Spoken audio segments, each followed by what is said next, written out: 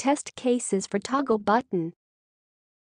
Test cases for toggle button. In this video, we will cover maximum test cases for toggle button.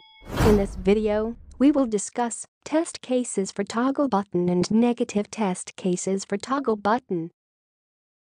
Test cases for toggle button. Test cases verify that design of the toggle button is as per specification or not. Verify that the user is able to click on toggle button or not. Verify that the user is able to toggle on or not. Verify that the user is able to toggle off or not. Verify that color when toggle on mode. Verify that color when toggle off mode.